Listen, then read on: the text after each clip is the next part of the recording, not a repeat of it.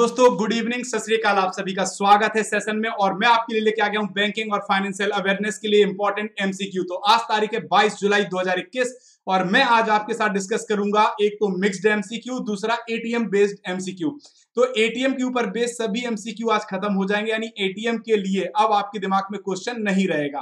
तो फटाफट हम लोग स्टार्ट करते हैं। मेरा नाम है Arvind Shukla general awareness banking finance का मैं फैकल्टी हूँ। Ten year plus banking exams को मैं पढ़ा रहा हूँ और अन पर मेरा कोड है ए आर एस फिफ्टी और अन पे मुझे फॉलो करना मत भूलिएगा। आप सभी से रिक्वेस्ट है, ठीक है? तो आप सभी को बता दें कि जितने भी लोग क्लास में आ गए आप एक बार मेरा टाइम टेबल देख लीजिए क्लास शेड्यूल देख लीजिए कि कौन कौन सी क्लास कितने बजे आपके लिए उपलब्ध है, ठीक है? सबसे पहले मॉर्निंग 8 एम पर मैं पढ़ाता हूँ डेली करंट अफेयर्स क्या पढ़ाता हूँ? Disha ji good evening good evening Rajan Kumar ji. Rajan Kumar Jha Lovely Kumar ji, सभी को गुड इवनिंग और वेलकम इन द सेशन सभी का स्वागत है भाई, सभी का स्वागत है सेशन में। तो मॉर्निंग 8 एम पर मैं पढ़ाता हूँ daily current affairs let's crack bank exam पर और इसके बाद 10 एम पर मैं पढ़ाता हूँ बैंकिंग टॉपिक वाइज क्या पढ़ाता हूँ? बैंकिंग पढ़ाता हूँ टॉपिक वाइज कैसे पढ़ाता हूँ? टॉपिक वाइज ठीक है थ्योरी आप यहाँ पर फ्री स्पेशल क्लास पढ़ सकते हैं। पाँच बजे मैं आपके लिए फ्री स्पेशल क्लास में जीए मॉक लेके आता हूँ और ये जो मॉक है, ये State Bank of India SBI के ऊपर बेस्ड है 2021 के लिए, ठीक है? इसके साथ रात में आठ बजे मैं बैंकिंग के एमसीक्यू कराता हूँ और उसी में आपको एक्सप्लेनेशन में कंसेप्ट भी समझाता हूँ। क्या समझाता हूँ? कंसेप्ट भी समझाता हूँ। तो आप मेरी क्लासेस को फॉलो कर सकते हैं अन अकेडमी पर। टॉप एजुकेटर्स के बैच अभी रिसेंटली स्टार्ट हुए हैं 14 जुलाई 2021 से। कब से स्टार्ट हुए? 14 जुलाई 2021 तो जितने भी न्यू बैच हैं, वो इस वीक में अभी आए हैं। न्यू बैचेस जितने भी हैं, वो इस वीक में अभी आए हैं। तो आप फटाफट सब्सक्रिप्शन ले सकते हैं और जुड़ सकते हैं हमारे साथ, हमारे प्लस कोर्सेज में। Unacademy is the best platform for bank preparation exam. तो आपको बता दें, अन अकेडमी बेस्ट प्लेटफॉर्म है क्यों है? तीस प्लस बैच एवरी मंथ आपके लिए आते हैं। चालीस हज़ार घंटे का रिकॉर्डेड कंटेंट है। बीस हज़ार प्रैक्टिस क्वेश्चन है। सत्तर प्लस फैकल्टी पढ़ा रहे हैं और 98 परसेंट कैंडिडेट्स का विश्वास है। तो आपको बता दें, जो लेटेस्ट बैच है एसबीआई क्लर्क के लिए, वो अभी आया है। इसका नाम है एक्सलेटर बैच। कौन सा बैच? एक्सलेटर बैच आप सभी के लिए आ चुका है और strong lineup of batches available है इस समय आपके लिए बैंक एग्ज़ाम्स के लिए। Target SBI PO IBPS PO accelerator batch और SBI clerk 2021 batch Ranvijay city batch भी आपके लिए अवेलेबल है, ठीक है? तो आप सभी को बता दें कि आईबीपीएस के, देखिए, तीन एग्ज़ाम इस समय लगे तो स्टेट बैंक ऑफ़ इंडिया का, इसके बाद आरआरबी रीजन रूरल बैंक का और फिर आईबीपीएस का। तो कुल मिला के जो छह एग्ज़ाम है, कौन से एग्ज़ाम है? छह। दो एग्ज़ाम यहाँ पे है, दो एग्ज़ाम यहाँ पे एक एग्ज़ाम यहाँ पे तो ये पाँच एग्ज़ाम पाँच एग्ज़ाम के लिए आपके लिए बिल्कुल तैयारी बिल्कुल कहते हैं ना कि सिर पर खड़ी है कि आपको तैयारी करनी और इन एग्ज़ाम में पार्टिसिपेट करना है। तो फटाफट आपको जो बैच अच्छा लगता है वो आप ज्वाइन कर सकते हैं।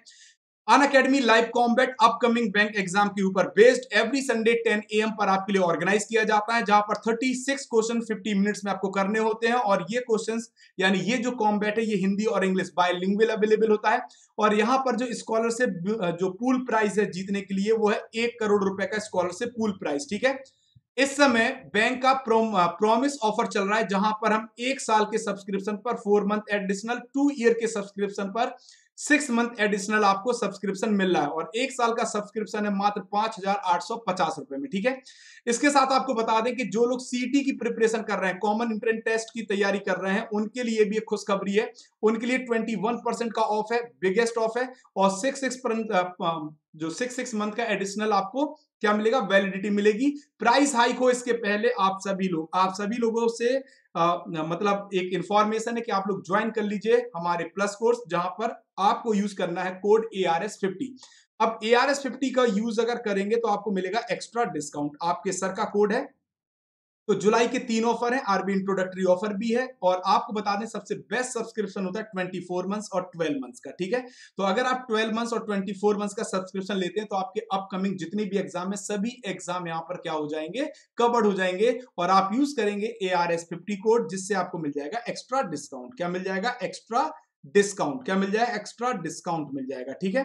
तो चलिए स्टार्ट करते हैं अपनी क्लास को let's crack it all set चलिए, फटाफट, पहला क्वेश्चन आपके सामने ये रहा। पहला क्वेश्चन आपके सामने ये रहा। फटाफट सभी को आंसर देना है दोस्तों। देखिए क्वेश्चन आपके सामने आ गए हैं और आज का सेशन बहुत इंटरेस्टिंग रहने वाला है। कैसा रहने वाला है? आज का सेशन बहुत ज़्यादा इंटरेस्टिंग रहने वाला है। तो आप सभी लोग फटाफट पार्टिसिपेट करना शुरू कर दीजिए। और देखिए, सुशीला जी भी आ गई हैं, रिहू जी भी, लवली जी भी, रंजन जी भी, दिशा जी भी। तो सभी को पहले तो गुड इवनिंग वेलकम और आपका स्वागत है अन अकेडमी के इस प्लेटफॉर्म पर। चलिए, पहला क्वेश्चन आपके सामने, पहला क्वेश्चन आपके सामने। Which of the following is the first bank to introduce ATM निम्नलिखित में से कौन सा कौन सा पहला बैंक है जिसने एटीएम इंट्रोड्यूस किया था? ठीक है तो निम्नलिखित में से कौन एटीएम की शुरुआत करने वाला पहला बैंक है? भारत में पहला बैंक कौन सा है जिसने एटीएम की शुरुआत की है? फटाफट आंसर दीजिए दोस्तों। सभी को आंसर देना है। भारत में पहला बैंक जिसने एटीएम की शुरुआत की है। फटाफट बताइए। तो पहला ऑप्शन है एसबीआई एचएसबीसी आईसीआईसीआई बैंक और बीओबी बैंक या एक्सिस बैंक चलिए फटाफट आंसर देना है। आंसर अभी तक आया नहीं है आप में से किसी का। तो सभी लोगों को गुड इवनिंग मैं कर चुका हूँ और आपको अब देने हैं आंसर तो आंसर डिले मत करिए, फटाफट आंसर दीजिए पहला बैंक पहला बैंक देखिए यहाँ पर आंसर आ गया। दिशा जी ने HSBC आंसर दिया है और अनिकेत साहब ने गुड इवनिंग लिखा है। Good evening sir Anukriti ji ने बी आंसर दिया। राजन जी ने बी आंसर दिया है। अमनदीप सिंह ने बी और अनिकेत सर ने भी बी। तो बिल्कुल सही आंसर है। पहला एटीएम जो भारत में स्थापित किया गया, वो कौन सा किया गया? किस बैंक ने किया? एचएसबीसी ने। किसने किया? Hong Kong Shanghai banking corporation is the right answer और ये एटीएम 1987 में स्टेब्लिश किया गया था। कब स्टेब्लिश किया गया था? 1987 में ये पहला एटीएम स्टेब्लिश किया गया था इंडिया में। चलिए, पहला क्वेश्चन बहुत ज़बरदस्त आंसर दिया है। एक बार शेयर और लाइक भी कर दीजिएगा। Where is the first Indicash ATM was inaugurated पहले इंडिकेस एटीएम का उद्घाटन कहाँ किया गया? महाराष्ट्र, मध्य प्रदेश, उत्तर प्रदेश, केरला और बिहार। चलिए फटाफट आंसर देना है दोस्तों। सभी दोस्तों को फटाफट आंसर देना है। तो पहला इंडिकेस एटीएम कहाँ पर उद्घाटन किया गया? चलिए महाराष्ट्र, मध्य प्रदेश, उत्तर प्रदेश, केरला, बिहार। अब इस क्वेश्चन का आंसर देने के पहले आपको यह पता होना चाहिए कि इंडिकेस इंडिकेस किस टाइप का, इंडिकेस किस टाइप का एटीएम है? ठीक है? Brown level white level orange level green level या पिंक लेवल तो किस टाइप का एटीएम है, ये अगर आपको पता होगा तो आप फटाफट आंसर दे देंगे। चलिए तो आपको बता दूँ मैं सबसे पहले जो इंडी कैश एटीएम, देखिए यहाँ पर दिशा ने आंसर दे दिया ए, महाराष्ट्र। चलिए, और सभी का आंसर भी देख लेते हैं। सभी ने ए आंसर दे दिया तो बिल्कुल सही आंसर है, पहला महाराष्ट्र। बिल्कुल सही आंसर। देखिए जो इंडी कैश है, कौन सा है? Indicash. कौन सा एटीएम इंडी कैश एटीएम है, जो ये किसका है? टाटा का है। किसका है? टाटा का है। किसका है? टाटा का है, ठीक है? टाटा कम्युनिकेशन का है। और ये भारत का पहला, ये भारत का पहला, भारत का पहला पहला व्हाइट लेवल एटीएम है। कैसा लेवल है? व्हाइट लेवल ठीक है? व्हाइट लेवल एटीएम है। डब्ल्यू एल ए कहा जाता है। ठीक, पहला व्हाइट लेवल एटीएम है। और ये कहाँ पे लगाया गया था? पहले थाने में। कहाँ पे लगाया गया? थाने में लगाया गया। और थाने कहाँ पे आता है? महाराष्ट्र में। कहाँ पे आता है? महाराष्ट्र में। कहाँ पे आता है? महाराष्ट्र। तो थाने महाराष्ट्र में भारत का पहला व्हाइट लेवल एटीएम लगाया गया था। किसके द्वारा? टाटा कम्युनिकेशन के द्वारा। और इस एटीएम कंपनी का नाम था इंडिकेस ठीक है? तो ये समझ में आ गया होगा आई होप सभी को समझ में आ गया होगा। वेल डन बहुत बढ़िया मेरे दोस्तों।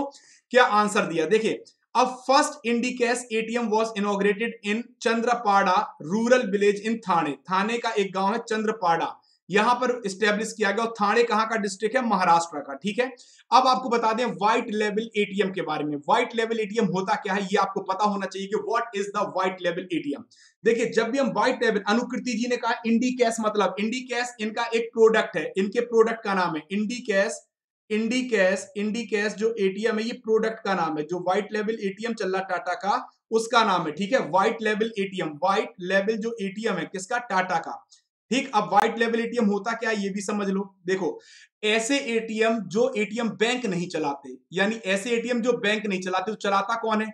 ऐसे एटीएम को चलाती है नॉन बैंकिंग फाइनेंशियल कंपनीज़ कौन चलाती है? एनबीएफसी कौन चलाती है? एनबीएफसी तो ऐसे एटीएम जिनको एनबीएफसी के द्वारा चलाया जाता, उन्हें डब्ल्यू एल ए कहा जाता है यानी व्हाइट लेवल एटीएम कहा जाता है। इतना समझ में आ गया?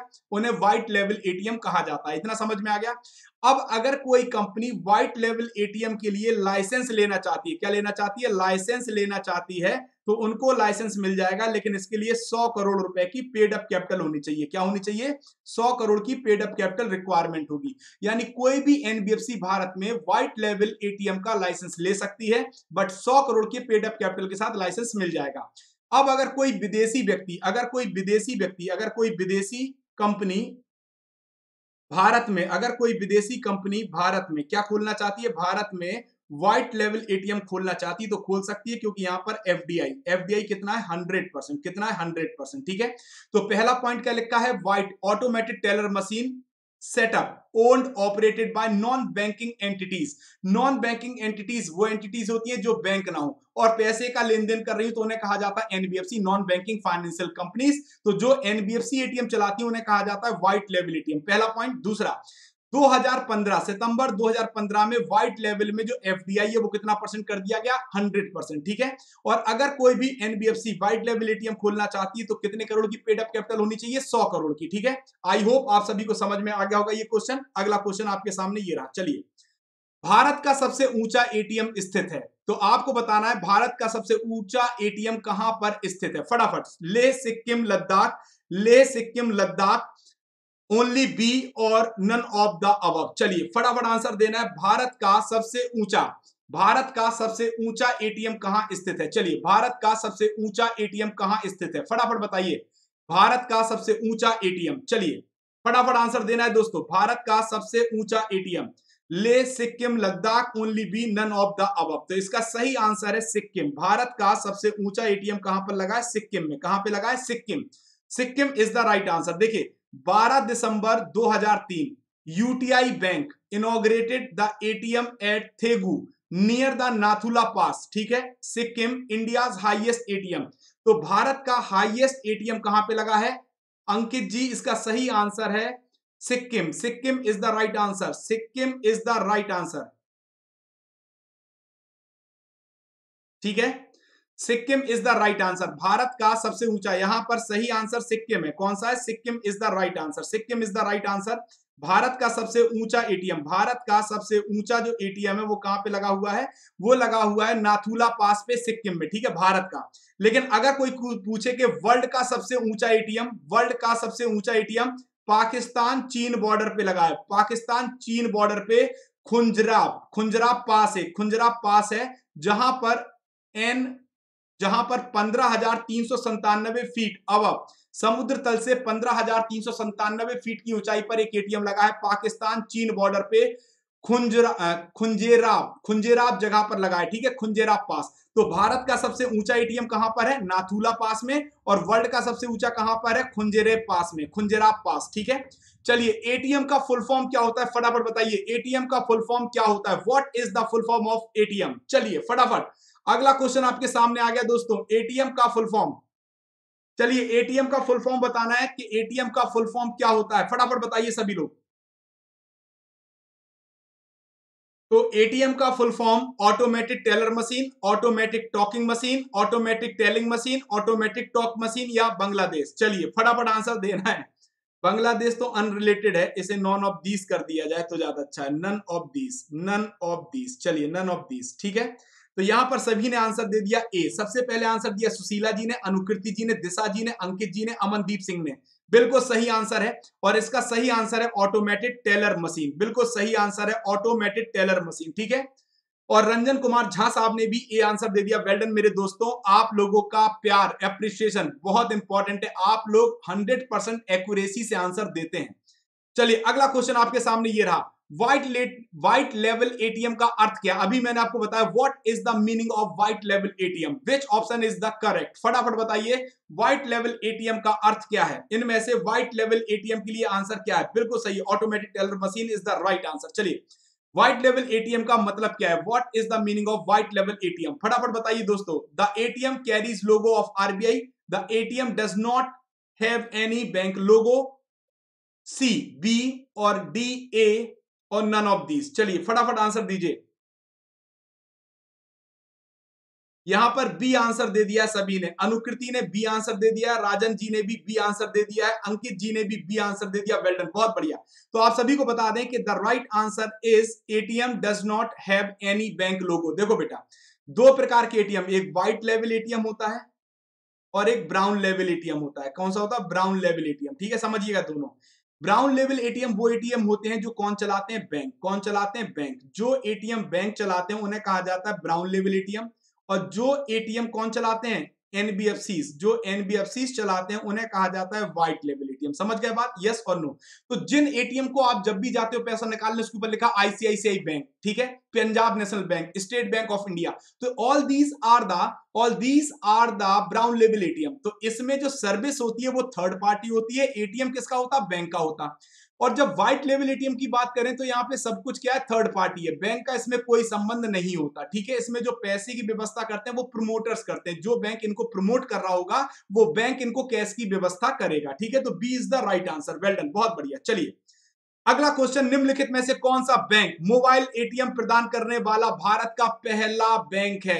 तो मोबाइल एटीएम तो समझते होंगे ना वैन के ऊपर जो एटीएम लगा रहता है, आज यहाँ खड़ी है वैन कल वहाँ खड़ी है, यानी जो एटीएम मूव कर सकते हैं, उन्हें कहा जाता है मोबाइल एटीएम तो आपको बताना है कि कौन सा बैंक है जिसने सबसे पहले मोबाइल एटीएम लॉन्च किया? चलिए फटाफट बताइए, सबसे पहले मोबाइल एटीएम लॉन्च करने वाला बैंक कौन सा है? क्वेश्चन नंबर छह। चलिए क्वेश्चन नंबर छह का आंसर देना है। सभी को आंसर देना है। मोबाइल एटीएम लॉन्च करने वाला बैंक। चलिए यहाँ पर डी आंसर दे दिया दिशा ने। सबसे पहले डी आंसर दे दिया वेल्डन। अनुकृति टंडन ने डी, अंकित जी ने डी, सभी ने डी आंसर दे दिया। बहुत बढ़िया। तो सबसे पहला मोबाइल एटीएम आईसीआईसीआई बैंक ने ही लॉन्च किया। वेल्डन, क्या बात है। और आपको बता दें 2020 में 2020 में मोबाइल एटीएम इंट्रोड्यूस किया है। किसने? Mobile ATM. Mobile ATM introduce किया किसने? एच बैंक ने। किसने किया? एच बैंक ने। और अब एच बैंक ने पूरे देश में, पूरे देश में, पूरे देश में, पूरे देश में मोबाइल एटीएम अप्लाई कर दिया है, ठीक है? तो आपको बता दें, भारत का पहला बैंक जिसने मोबाइल एटीएम लॉन्च किया, उस बैंक का नाम है ICICI bank, industrial credit and investment corporation of India, ठीक है? तो ICICI bank are the first to provide mobile ATM, ठीक है? चलिए, अगला क्वेश्चन रंजन जी ने भी सही आंसर दिया। देखिए, क्या बात है। निम्नलिखित में से किस समिति ने एटीएम की स्थापना की सिफारिश की थी? तो आपको यह बताना है कि which committee recommend for the ATM in India चलिए, फटाफट। Saraf committee Narasimha committee Rangarajan committee Shere committee या नन ऑफ़ दीज चलिए, फटाफट आंसर देना है। तो आपके एटीएम से रिलेटेड सभी क्वेश्चन आज कंप्लीट हो जाएँगे। आज अभी कंप्लीट हो जाएँगे एटीएम से रिलेटेड सभी क्वेश्चन सभी क्वेश्चन एटीएम से रिलेटेड जितने भी क्वेश्चन है, सभी क्वेश्चन अभी आपके कंप्लीट हो जाएँगे। चलिए, फटाफट। और यहाँ पर अनिकेत लिख दिया। अनिकेत अच्छा अंकित को मैं अनिकेत कह रहा था। ठीक है, अंकित कह रहा था। ठीक है ठीक है। अनिकेत यस एक्चुअली जो मोबाइल होता है वो दूर रखा होता है जिसपे हम आपके कमेंट पढ़ रहे होते। तो फटाफट फटाफट फटाफट होता है। ठीक है चलिए, अगला क्वेश्चन आ गया तो आंसर दीजिए भाई। किस समिति की रिकमेंडेशन पे भारत में एटीएम को इंट्रोड्यूस किया गया? तो इसका जो सही आंसर है, वो है सी रंगराजन कमिटी। कौन सी कमिटी? सी रंगराजन कमिटी, ठीक है? तो एक कमिटी बनी थी सी रंगराजन कमिटी, और इन्होंने रिकमेंड किया था। क्या किया था? रिकमेंड किया था इन्होंने रिकमेंड किया था भारत में क्या? एटीएम क्या? एटीएम एटीएम को रिकमेंड करने वाली पहली कमिटी कौन सी है? रंगराजन कमिटी कौन सी कमिटी है? Rangarajan committee C is the right answer बिल्कुल सही आंसर है सी चलिए, अगला क्वेश्चन आपके सामने ये रहा। नेक्स्ट क्वेश्चन आपके सामने आ गया है। निम्नलिखित में से किस एटीएम का प्रयोग शेयर ट्रांजेक्शन के लिए किया जाता है? शेयर ट्रांजेक्शन के लिए कौन से एटीएम का प्रयोग किया जाता है? चलिए which of the following ATM is issued for share transaction फटाफट बताना है। चलिए, लवली जी ने भी सी आंसर दिया था, अनिकेत जी ने भी सी आंसर दिया, अमनदीप जी ने भी सी आंसर दिया और दिशा जी ने भी सी आंसर दिया था। लास्ट क्वेश्चन का, अब क्वेश्चन नंबर एट आपके सामने है। फटाफट आंसर देना है। Which of the following ATM is use for share transaction तो निम्नलिखित में से किस एटीएम का उपयोग शेयर ट्रांजेक्शन के लिए किया जाता है? चलिए फटाफट आंसर दीजिए। Yellow ATM orange ATM green level ATM pink level ATM या रेड लेवल एटीएम चलिए फटाफट सभी को आंसर देना है दोस्तों। इनमें से किस एटीएम का प्रयोग शेयर के ट्रांजेक्शन में किया जाता है? चलिए फटाफट आंसर देना है।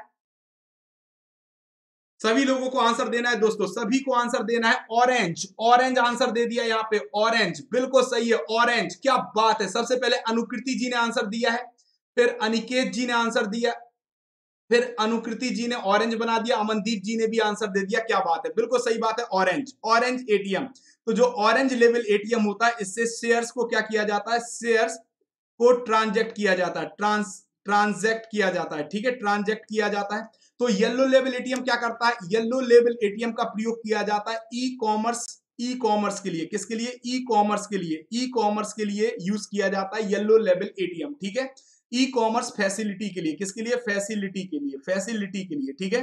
फिर ग्रीन लेवल क्या होता है ये? Agriculture agriculture agriculture related agriculture related related transaction जितने भी होते हैं एग्रीकल्चर रिलेटेड जो ट्रांजेक्शन होंगे ट्रांजेक्शन होंगे उनके लिए यूज़ किया जाता है ग्रीन लेवल एटीएम फिर आता है pink level pink level ATM वो एटीएम होता है जहाँ पर वुमेन्स को फैसिलिटी दी जाती है। किसको? वुमेन को फैसिलिटी दी जाती है। क्या दी जाती है? फैसिलिटी दी जाती है। फैसिलिटी दी जाती है।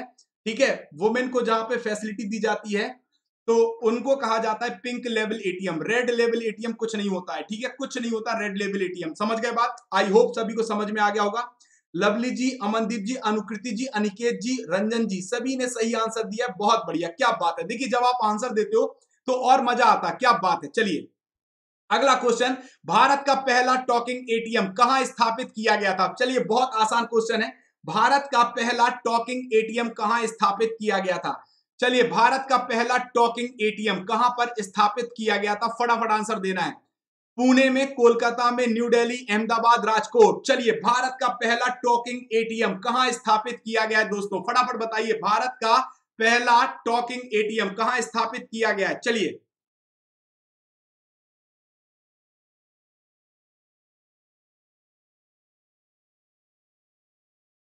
तो भारत का जो पहला टॉकिंग एटीएम है, वो अहमदाबाद में स्थापित किया गया था। कहाँ पे स्थापित किया गया था? Ahmedabad. Is the right answer कहाँ पे स्थापित किया गया था? अहमदाबाद में। कहाँ पे स्थापित किया गया था? अहमदाबाद में। India first talking ATM visually impaired located in Ahmedabad. तो भारत का पहला टॉकिंग एटीएम कहाँ लगा? अहमदाबाद में। 2012 में one of the leading public sector bank union bank of India पहला, भारत में पहला टॉकिंग एटीएम अहमदाबाद में लगा, पहला point Ahmedabad is the right answer ठीक है? दूसरा 2012 में यूनियन बैंक ऑफ़ इंडिया के द्वारा इसे अहमदाबाद में लगाया गया, ठीक है? और जगह का नाम था वस्त्रापुर, क्या नाम था? वस्त्रपुर, क्या नाम था? वस्त्रपुर, ठीक है? चलिए, अगला क्वेश्चन आपके सामने ये रहा। ब्राउन लेवल एटीएम के बारे में निम्नलिखित में से कौन सा कथन सत्य है? अभी मैंने आपको ब्राउन लेवल एटीएम के बारे में बताया है, ठीक है? Which among the following is correct about brown level ATM brown level ATM के बारे में इनमें से कौन सा कथन सत्य है? चलिए, फटाफट बताना है ब्राउन लेवल एटीएम के बारे में इनमें से कौन सा कथन सत्य है? फटाफट बताइए भाई। Bank whose brand name is use on ATM takes care of cash management and network connectivity ठीक है? These ATM are owned and maintain by the service provider C both A and B D easy cash और E none of these तो question number ten है आपके सामने और आपको answer देना है। चलिए, फटाफट। यहाँ पर सभी ने ए आंसर दे दिया है। क्या दे दिया? चलिए क्वेश्चन नंबर टेन का सही आंसर देना है भाई। सही आंसर देना क्वेश्चन नंबर टेन का। तो अभी तक आंसर अनुकृति जी का आया है, अमनदीप जी का आया है, दिशा जी का आया। देखिए, पहला पॉइंट बिल्कुल सही है। अगर आप किसी एटीएम पे जाते हैं, किस पे जाते हैं? किसी एटीएम पे जाते हैं और वहाँ पर बैंक का नाम लिखा है पंजाब नेशनल बैंक पीएनबी ठीक है? तो ये पहला पॉइंट सही है कि बैंक का ब्रांड नेम होता है, ठीक है? और बैंक पूरा ही नेटवर्क वगैरह कनेक्टिविटी को बैंक चेक करता है, ठीक? यहाँ पर जो सर्विस प्रोवाइडर होता है, वो भी मेंटेन करता है थर्ड पार्टी जो सर्विस प्रोवाइडर होता है, क्या होता है? सर्विस प्रोवाइडर क्या होता है? सर्विस प्रोवाइडर जो होता है, वो थर्ड पार्टी होती है। क्या होती है? थर्ड पार्टी अगर आप देखते होंगे तो कभी बैंक की बैंक की बैन को आपने कभी नहीं देखा पैसा डालने आते हुए।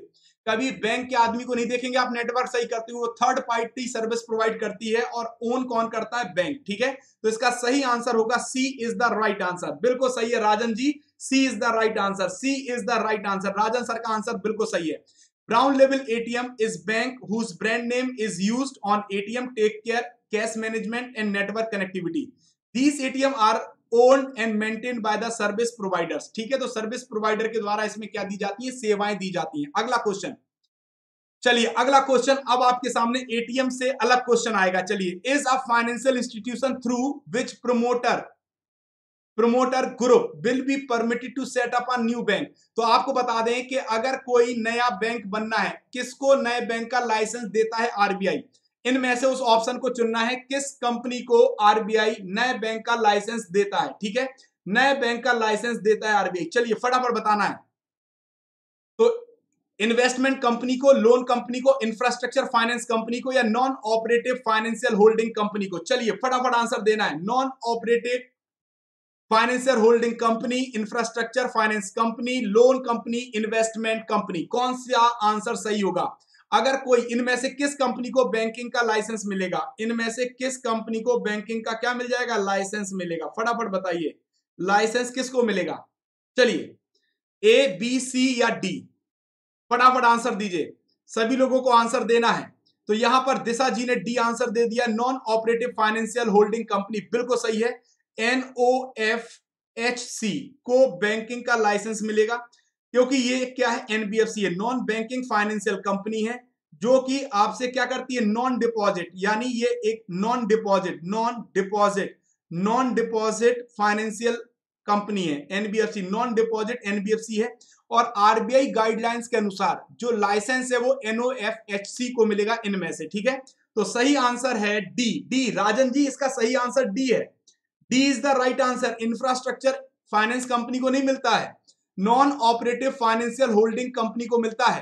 ठीक है? अब non operative financial holding company कौन सी होती है? ये एक एनबीएफसी होती है non banking financial company NBFC भी दो प्रकार की होती है। एक होती है डिपॉजिट कौन सी होती है? डिपॉजिट जिसमें आप क्या जमा कर सकते हैं? पैसा। एक होती है नॉन डिपॉजिट कौन सी होती है? नॉन डिपॉजिट जिसमें आप पैसा जमा नहीं कर सकते। तो जो नॉन डिपॉजिट एनबीएफसी होती है, इन्हें कहा जाता है एनओएफएचसी इन्हें क्या कहा जाता? है एनओएफएचसी तो एनओएफएचसी को बैंकिंग लाइसेंस मिल जाता आरबीआई की तरफ़ से। तो D is the right answer दोस्तों, ठीक है? अगला क्वेश्चन आपके सामने ये रहा। चलिए क्वेश्चन नंबर बारह आपके सामने आ चुका है। SIDBI was form to promote SIDBI का गठन किस चीज़ को बढ़ावा देने के लिए किया गया? सिडबी का गठन किस चीज़ को बढ़ावा देने के लिए किया गया? चलिए, इनमें से सिडबी का गठन किस चीज़ को बढ़ावा देने के लिए किया गया? Agriculture sector housing sector MSME sector या बैंकिंग सेक्टर फटाफट बताना है। चलिए, फटाफट सभी दोस्तों को बताना है। यस चलिए, फटाफट आंसर दीजिए दोस्तों। आंसर भी आते रहने चाहिए यार। आंसर स्लो नहीं होने चाहिए।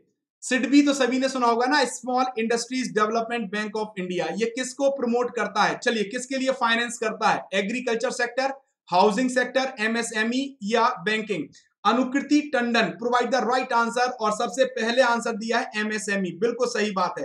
वेल्डन बिल्कुल सही आंसर है. C is the right answer MSME sector को बढ़ावा देता है कौन? सिडबी कौन देता है? सिडबी अब देखो सिडबी की अगर बात करें तो फुल फॉर्म क्या होता है? Small industries development bank of India SIDBI की अगर बात करें तो इसकी स्थापना कब हुई थी? 1990 में. और इसका हेडक्वार्टर कहाँ पे? लखनऊ में. कहाँ पे? लखनऊ में. ठीक है? लखनऊ में. ठीक है?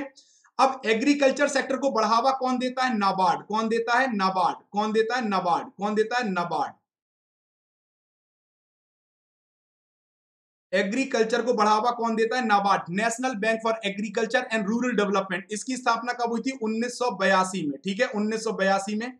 और आपको बता दें, इसका हेडक्वार्टर कहाँ पे है? मुंबई में। कहाँ पे है? मुंबई में। कहाँ पे है? मुंबई में, ठीक? हाउसिंग फाइनेंस के लिए हाउसिंग फाइनेंस के लिए कौन सा बैंक है? एनएचबी नेशनल हाउसिंग बैंक ठीक है? नेशनल हाउसिंग बैंक और ये स्टेब्लिश कब हुआ था? 1988 में। कब स्टेब्लिश हुआ था? 1988 में। और इसका हेडक्वार्टर कहाँ पे न्यू दिल्ली में। कहाँ पर है? New Delhi is the headquarter ठीक है? तो यहाँ पर देखिए सभी ने आंसर दे दिया C is the right answer अब बैंकिंग सेक्टर को बढ़ावा कौन देता है? आरबीआई कौन देता है? आरबीआई आरबीआई कब स्टेब्लिश हुआ था? एक अप्रैल 1935 को। फ़र्स्ट अप्रैल 1935 को और इसका हेडक्वार्टर कहाँ पे है? मुंबई में। कहाँ पे है? मुंबई में, ठीक? अब एक बॉडी और रह जाती है एक्सपोर्ट और इंपोर्ट एक्सपोर्ट और इंपोर्ट एक्सपोर्ट को बढ़ावा कौन देता है? एग्जिम कौन सा bank EXIM bank export import bank और ये स्टेब्लिश कब हुआ था? 1982 में. कब हुआ था स्टेब्लिश 1982 में. और इसका हेडक्वार्टर भी कहाँ पे है? मुंबई में. कहाँ पर है? मुंबई में. ठीक है? तो आई होप आपको समझ में आ गया होगा पूरा कंसेप्ट इस क्वेश्चन का. पूरा क्वेश्चन का एनालिसिस पोस्टमार्टम हो चुका है. चलिए, अगला क्वेश्चन आपके सामने ये रहा. How many member nations are there in bank for international settlement BIS में कितने देश सदस्य देश हैं? कितने मेंबर हैं? चलिए सीधे सीधे बताइए कितने मेंबर हैं? क्वेश्चन नंबर तेरह। बीआईएस तो सभी लोग जानते हैं बैंक फॉर इंटरनेशनल सेटलमेंट जो आपके लिए क्या बनाता है? बेसिल नॉर्म्स क्या बनाता है? बेसिल नॉर्म्स जो आपके लिए बेसिल नॉर्म्स बनाते हैं, उन्हें कहा जाता है बीआईएस या बीसीबीएस ठीक है? या इसी को एक और नाम से जाना जाता है बीसीबीएस बीसीबीएस क्या होता है? Basel committee for banking supervision ठीक है? तो अब आपको बताना है, अब आपको बताना है कि बैंक फॉर इंटरनेशनल सेटलमेंट में कितने सदस्य देश हैं? हाउ मेनी मेंबर कंट्रीज़ चलिए, फटाफट बताइए। अस्सी, तिरसठ, सौ, एक सौ बीस। चलिए, अस्सी, तिरसठ, सौ, एक सौ बीस। तो कितने मेंबर हैं? फटाफट बताइए, कितने मेंबर हैं? फटाफट बताइए दोस्तों, कितने मेंबर हैं? ये आपको फटाफट बताना है, कितने मेंबर है? How many members are there तो आपको बता दें, इस क्वेश्चन का जो सही आंसर है, वो है 63 कितने मेंबर्स हैं? 63 मेंबर्स पहले पहले कितने मेंबर थे? 60 मेंबर थे. पहले 60 मेंबर थे और अब कितने हो गए हैं? अब हो गए हैं सिक्सटी थ्री और 63 जो मेंबर होते हैं, वो कौन होते हैं? या तो किसी भी देश के सेंट्रल बैंक कौन सा? Central bank central bank central bank plus monetary authorities कौन सी? Monetary monetary authorities monetary authorities authorities authorities ठीक है? तो आपको बता दें, ये इसके मेंबर होते हैं। तो टोटल संख्या कितनी है इनकी? टोटल संख्या 63 है। कितनी है? 63 तो the right answer is 63 B is the right answer B is the right answer दोस्तों। इस क्वेश्चन का सही आंसर बी है। ठीक है? चलिए, आगे बढ़ते हैं अगले क्वेश्चन की तरफ़। नेक्स्ट क्वेश्चन आपके सामने ये रहा। चलिए नेक्स्ट क्वेश्चन आपके सामने ये रहा। फटाफट। नेक्स्ट क्वेश्चन आपके सामने आ चुका है दोस्तों। नेक्स्ट क्वेश्चन आपके सामने आ चुका है और अब आपको देना है आंसर फटाफट आंसर देना है दोस्तों सभी को। नेक्स्ट क्वेश्चन का आंसर देना है। फटाफट, चलिए। तो नेक्स्ट क्वेश्चन की अगर हम बात करेंगे तो नेक्स्ट क्वेश्चन क्या कहता है? चलिए। तेरह का बी बिल्कुल ठीक है। तेरह का बी लवली कुमारी जी ने सही दिया है। अब क्वेश्चन नंबर चौदह। What is the purpose of reduction in C R R अगर सी आर आर को कम किया जाता है तो इनमें से कौन सा प्रभाव दिखाई देगा? Which effect shown in market if C R R reduces okay चलिए सी आर आर को अगर रिड्यूस किया जाता है तो कौन सा प्रभाव बाज़ार पे दिखाई देगा? Reduce credit flow enhance credit flow enhance availability of cash और रिड्यूस कैश ट्रांजेक्शन चलिए, यहाँ पर आंसर दे दिया राजन जी ने, बिल्कुल सही B is the right answer बिल्कुल सही है इनहेंस क्रेडिट फ्लो देखिए, जब भी एक बात याद रखिएगा, चाहे वो सीआरआर हो, एक लाइन में समझ लीजिए, चाहे वो बैंक रेट हो चाहे वो रेपो रेट हो, चाहे वो रिवर्स रेपो रेट हो, चाहे वो एसएलआर हो और चाहे वो एमएसएफ हो, ठीक है? अगर आरबीआई इनमें किसी में भी, अगर आरबीआई इनमें किसी में भी कमी करता है, क्या करता है? कमी करता है। तो मार्केट में लिक्विडिटी क्या हो जाएगी? लिक्विडिटी बढ़ जाएगी। लिक्विडिटी क्या हो जाएगी? बढ़ जाएगी।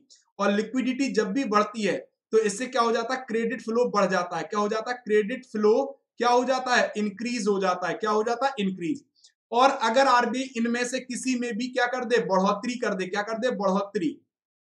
इंक्रीज कर दे, क्या कर दे इंक्रीज कर दे, क्या कर दे इंक्रीज तो मार्केट में लिक्विडिटी क्या हो जाएगी? मार्केट में लिक्विडिटी क्या हो जाएगी? माइनस हो जाएगी, कम हो जाएगी। क्या हो जाएगी? कम। तब क्रेडिट फ्लो क्या हो जाएगा? क्रेडिट फ्लो क्या हो जाएगा? कम हो जाएगा। क्रेडिट फ्लो क्या होगा? रिड्यूस हो जाएगा। क्या हो जाएगा? रिड्यूस हो जाएगा। आई होप आप सभी को समझ में आ गया होगा। सभी को समझ में आ गया होगा दोस्तों, सभी को समझ में आ गया होगा। समझ में आ गया यस और नो अगर समझ में आ गया हो तो थम्सअप लगाते जाया करिए। अगर आपको समझ में आ गया हो तो प्लीज़ थम्सअप लगा दीजिए। थम्सअप लगा दीजिए जिससे हमें पता चल जाए कि हाँ जो मैंने आपको पढ़ाया वो आपको समझ में आ गया है। ठीक है? चलिए, आगे बढ़े। आगे बढ़े दोस्तों। चलिए, भारत में पहली बीमा कंपनी 1818 में कहाँ शुरू की गई? चलिए, भारत में पहली बीमा कंपनी कहाँ स्टेब्लिश की गई? First insurance company was establish in India in 1880 18 18 में। चलिए, फटाफट आंसर देना है।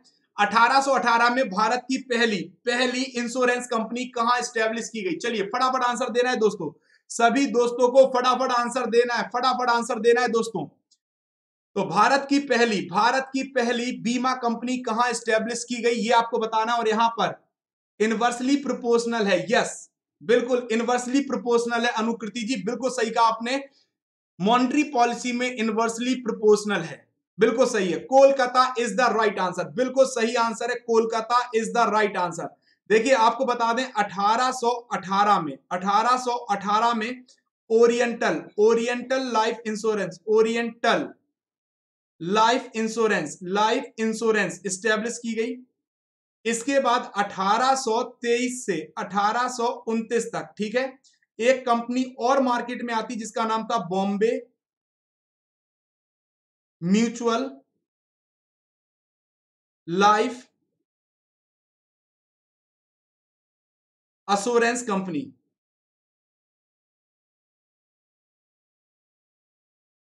ठीक? कहीं कभी आपको ये मिलेगा 1832 लिखा हुआ, ठीक है? तो कंफ्यूज मत होइएगा। तो पहली इंश्योरेंस कंपनी 1818 में कहा स्टेब्लिश की गई? कोलकाता में। कहाँ पे स्टेब्लिश की गई? कोलकाता में ओ एल आई कौन सी company O L I Rihu जी ने भी आंसर दे दिया, बहुत बढ़िया। चलिए, अगला क्वेश्चन आपके सामने ये रहा। IMF international monetary fund IMF international monetary fund का मुख्यालय कहाँ पर है? जिनेवा वॉशिंगटन पेरिस लंदन चलिए, फटाफट आंसर दीजिए भाई। सभी दोस्तों को आंसर देना है। आईएमएफ का हेडक्वार्टर कहाँ पे है? क्वेश्चन बहुत आसान है, लेकिन इसका एक्सप्लेनेशन बॉम्ब है, ठीक है? क्वेश्चन बहुत आसान है, लेकिन एक्सप्लेनेशन बॉम्ब है, ठीक है? तो हम आपको बता दें, इसका एक्सप्लेनेशन अच्छा है, जो मतलब आपके एग्ज़ाम के लिए इंपॉर्टेंट पॉइंट सभी कवर हो जाएँगे।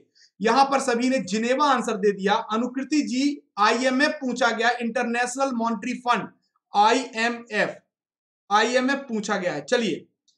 तो यहाँ पर Washington DC is the right answer. सही आंसर है वॉशिंगटन डीसी। देखिए, सभी लोग फिर समझ लीजिए, मैं आपको एक लाइन में समझा देता हूँ, एक लाइन में।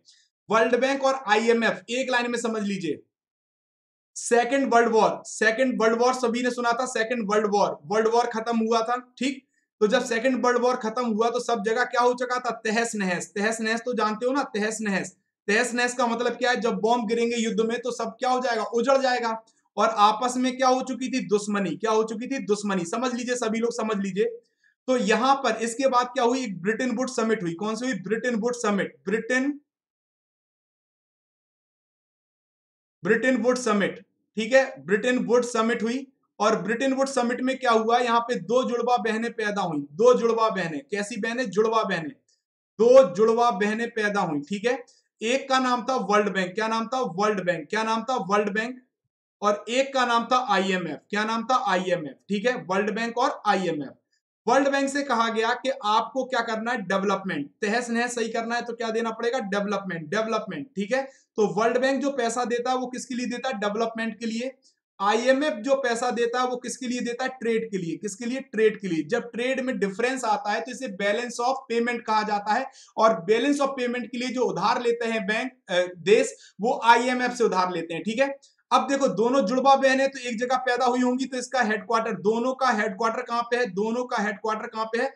वॉशिंगटन डीसी कहाँ पे है? वॉशिंगटन डीसी वॉशिंगटन डीसी ठीक है? वॉशिंगटन डीसी में इतना समझ में आ गया? अब आईएमएफ के बारे में बात कर ले आईएमएफ के बारे में। किसके बारे में? आईएमएफ आईएमएफ स्टेब्लिश कब हुआ था? आपको बता दें।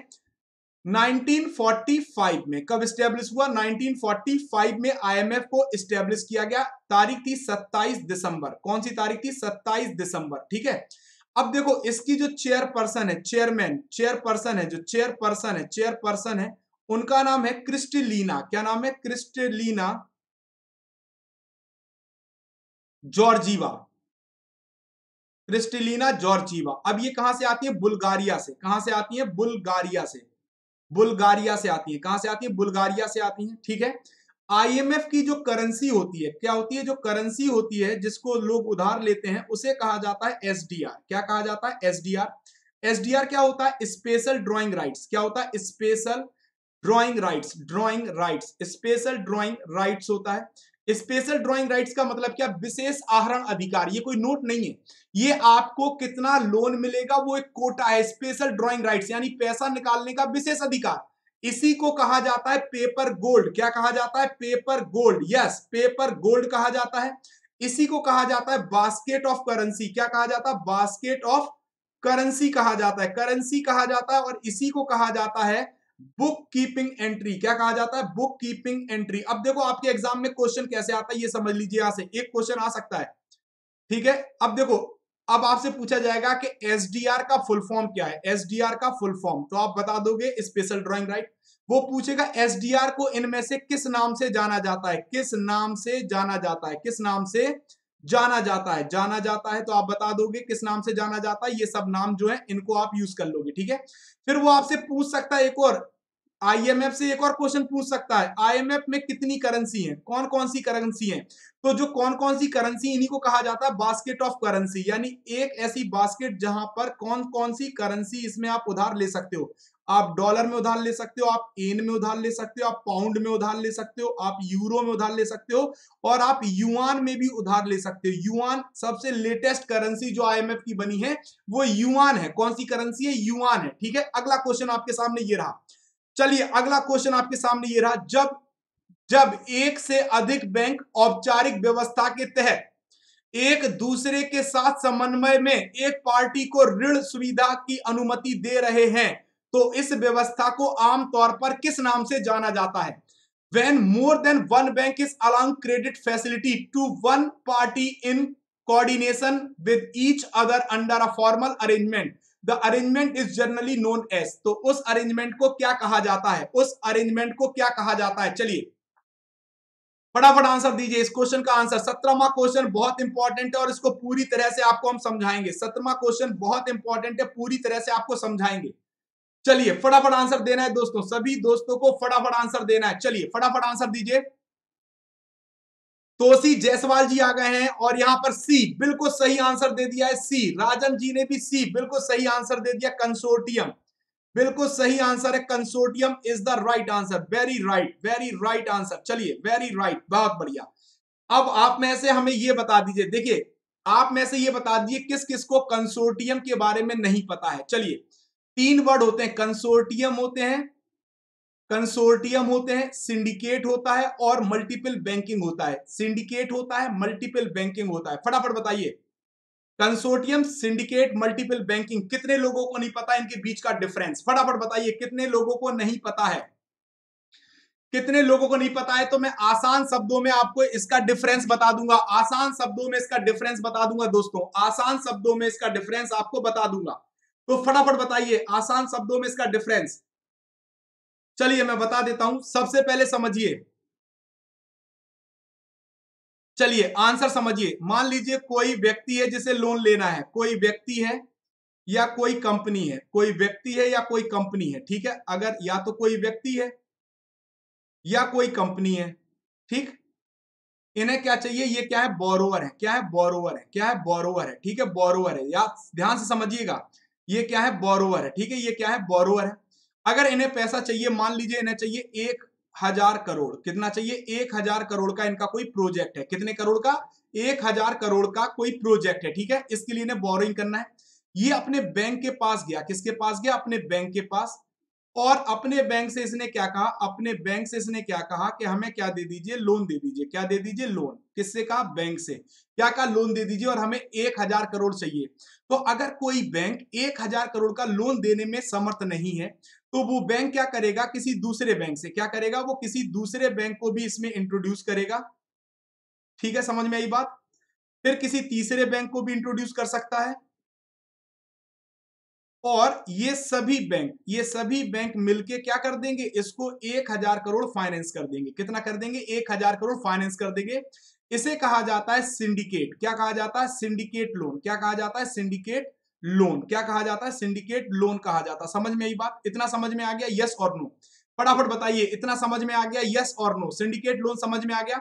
जब किसी एक प्रोजेक्ट के लिए, एक प्रोजेक्ट के लिए, एक प्रोजेक्ट के लिए, एक प्रोजेक्ट के लिए multiple bank multiple multiple bank multiple bank जब पैसा उधार देते हैं तो इसे क्या कहा जाता है? सिंडिकेट सिंडिकेट समझ में आ गया? यस और नो फटाफट बताइए सिंडिकेट समझ में आया है? यस और नो सिंडिकेट समझ में आ गया?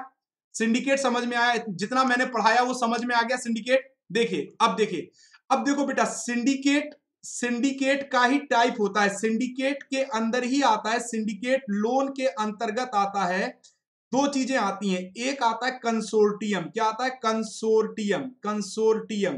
कंसोर्टियम और दूसरा आता है मल्टीपल बैंकिंग। क्या आता है? Multiple banking. ठीक है? Multiple banking. कंसोर्टियम लोन और मल्टीपल बैंकिंग। इसके अंदर आता है। ठीक है? इतना समझ में आ गया, इतना समझ में आ गया। यानी जब भी ऐसे लोन दिया जाएगा तो इसे क्या कहा जाएगा? सिंडिकेट लोन कहा जाएगा। क्या कहा जाएगा? सिंडिकेट लोन और सिंडिकेट लोन के अंदर कंसोर्टियम और क्या होता है? मल्टीपल बैंकिंग तो सबसे पहले हम लोग पढ़ेंगे कंसोर्टियम देखिए, अब मान लीजिए जो बी बैंक के पास कोई कस्टमर आया था, ये इसके पास क्षमता नहीं है कि एक हज़ार करोड़ का लोन दे पाए। तो इनकी क्या होती है? इनकी एक सेल होती है। कौन सी सेल होती है? इनकी सिंडिकेट लोन सिंडिकेट सेल होती है। क्या होती है? सिंडिकेट सेल होती है। सिंडिकेट सेल सेल का मतलब डिपार्टमेंट डिपार्टमेंट होता है जो अलग अलग बैंकों को कांटेक्ट करता है। ठीक है? अब जब अलग अलग बैंकों को कांटेक्ट करेगा, तीनों बैंक मिलके पैसा कितना इकट्ठा कर देंगे? एक हज़ार करोड़। ठीक है? एक हज़ार करोड़। और एक हज़ार करोड़ इनको देंगे और इसको लीड कौन करेगा? इसको लीड करेगा वो बैंक इनको लीड कौन करेगा? लीड वो बैंक करेगा जो सबसे ज़्यादा पैसा देगा। हाई पैसा देगा। हाई मनी देगा, हाई मनी देगा जो बैंक वो इनको क्या करेगा? लीड करेगा। क्या करेगा? लीड और रेट ऑफ़ इंटरेस्ट कॉमन होगा। रेट ऑफ़ इंटरेस्ट कैसा होगा? इंटरेस्ट कॉमन होगा। इंटरेस्ट भी कैसा होगा? कॉमन होगा। ठीक है? कॉमन होगा। कैसा होगा? कॉमन होगा। ठीक? तो ये सभी बैंक मिलके एक कॉमन मान लीजिए नौ परसेंट पे इसको लोन दे दिया। नौ परसेंट पे लोन दे दिया सभी बैंकों ने मिलके। ठीक है? तो लीड वो बैंक करेगा जिसका सबसे ज़्यादा पैसा इसमें लगा होगा। मान लीजिए एक हज़ार करोड़ में पाँच सौ करोड़ इस बैंक ने दिया। 200 करोड़ इसने दिया और 300 करोड़ इसने दिया। तो जब एक कॉमन स्टेटमेंट जाएगा बोरोवर के लिए तो इसे कहा जाएगा कंसोर्टियम लोन क्या कहा जाएगा? कंसोर्टियम समझ गए बात? और मल्टीपल बैंकिंग क्या होती है कि जब ये जो लोन जो इन, जो लोन बोरोवर आया था, जो बोरोवर आया था, वो अलग अलग बैंक से कांटेक्ट करे। ए बैंक से कांटेक्ट किया उसने बी से कांटेक्ट किया सी से किया। तीनों ने अलग अलग अलग लोन दे दिया और अलग अलग क्या हुआ? अलग अलग लोन दिया। और अलग अलग रेट ऑफ़ इंटरेस्ट हुआ। क्या हुआ? रेट ऑफ़ इंटरेस्ट भी कैसा हुआ? अलग अलग हुआ।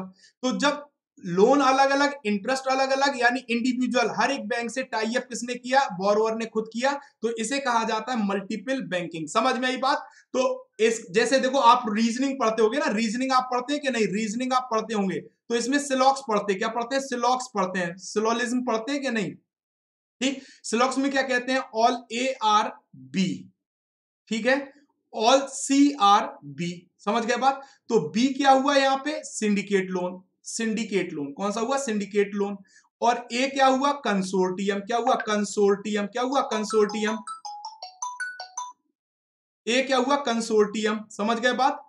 और सी क्या हुआ? Multiple banking. क्या हुआ? Multiple banking. क्या हुआ? Multiple banking. समझ गए बात? यस और नो। इतना समझ में आ गया? यस और नो। अगला क्वेश्चन आपके सामने ये रहा लेफ का अर्थ क्या है? लेफ का अर्थ क्या है? लेफ लेफ क्या होता है? लेफ क्या होता है? ये आपको बताना है। What is the LAF what is the LAF what is the LAF what is the LAF फटाफट बताइए। वॉट इज़ द लेफ फटाफट, सभी को बताना है दोस्तों कि लेफ क्या होता है? What is the full form of LAF LAF का फुल फॉर्म होता है लिक्विडिटी एडजस्टमेंट फैसिलिटी। लिक्विडिटी, बिल्कुल सही है बेटा। जब भी आप क्या पढ़ते हो, जब भी आप क्या पढ़ते हो, रेपो रेट पढ़ते हो, क्या पढ़ते हो? रेपो रेट पढ़ते हो या reverse repo rate? Reverse repo rate repo rate पढ़ते हो। जब भी रिवर्स रेपो रेट पढ़ते हो, रेपो रेट और रिवर्स रेपो रेट पढ़ते हो तो मार्केट में लिक्विडिटी लिक्विडिटी लिक्विडिटी को इंजेक्ट करने के लिए, क्या करने के लिए? इंजेक्ट करने के लिए, इंजेक्ट करने के लिए यूज़ किया जाता है रेपो ऑपरेशन और मार्केट से लिक्विडिटी को एब्जॉर्ब करने के लिए एब्जॉर्ब करने के लिए यूज़ किया जाता है रिवर्स रेपो ऑपरेशन। तो इसका जो कॉम्बिनेशन होता है, इसे कहा जाता है लेफ, लिक्विडिटी एडजस्टमेंट फैसिलिटी और इस सेवा को आरबीआई ने सन 2000 में इंट्रोड्यूस किया था। कब इंट्रोड्यूस किया था? 2000 में, ठीक है? समझ गए? ईयर 2000 18 का D is the right answer 18 का D is the right answer 18 का D is the right answer ठीक है? D is the right answer अगला क्वेश्चन आपके सामने ये रहा। चलिए, अगला क्वेश्चन आपके सामने ये रहा। फटाफट, सभी को आंसर देना है, सभी लोगों को आंसर देना है। अगला क्वेश्चन आपके सामने ये रहा। चलिए, एक वाणिज्यिक बैंक को देश के प्रत्येक अग्रणी बैंक के रूप में नामित किया जाता है। तो आपको बताना जो लीड बैंक होता है, क्या होता है? लीड बैंक होता है, वो किस लेवल पे लीड करता है? किस लेवल पे लीड करता है? जोन वाइज करता है, तालुका वाइज करता है, डिस्ट्रिक्ट वाइज करता है या पंचायत वाइज लीड बैंक बनाया जाता है। तो आप सभी को बताना है कि लीड बैंक किस आधार पे बनाया जाता है। लीड बैंक किस आधार पे बनाया जाता है? फटाफट बताइए। लीड बैंक किस आधार पे बनाया जाता है? अगला क्वेश्चन आपके सामने आ चुका है। लीड बैंक किस आधार पे बनाया जाता है? और यहाँ पर सी आंसर दे दिया डिस्ट्रिक्ट। अनुकृति मैम ने बिल्कुल सही आंसर दिया है। Right answer is C Disha ji ने भी सी आंसर दे दिया है। दिशा मैम बहुत दिनों बाद दिख रही हैं और बिल्कुल सही आंसर दे रही हैं। बहुत बढ़िया। क्या बात है? अनुकृति जी ने सी आंसर दिया। बिल्कुल सही है। District is the right answer. District is the right answer. District is the right answer. Rajan ji ने भी सी आंसर दिया। बिल्कुल सही आंसर है। चलिए, अगला question. Which of the following is not manage by the RBI for India Bharat में RBI इनमें से किसको मैनेज नहीं करता है? भारत में आरबीआई इनमें से किसको मैनेज नहीं करता है? फटाफट आंसर दीजिए।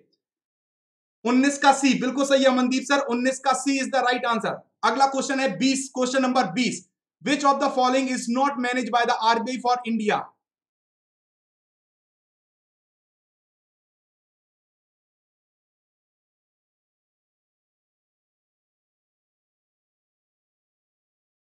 okay okay Disha ma'am चलिए, अगला क्वेश्चन यहाँ पे B stock exchange well done क्या बात है अनुकृति मैम बिल्कुल सही आंसर दिया आपने।